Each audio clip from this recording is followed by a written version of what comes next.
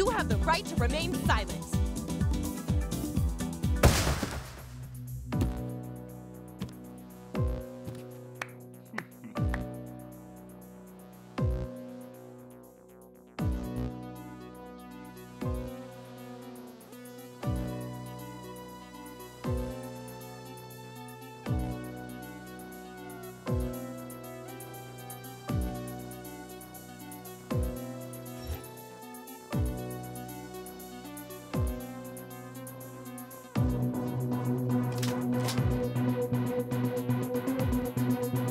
Stop it!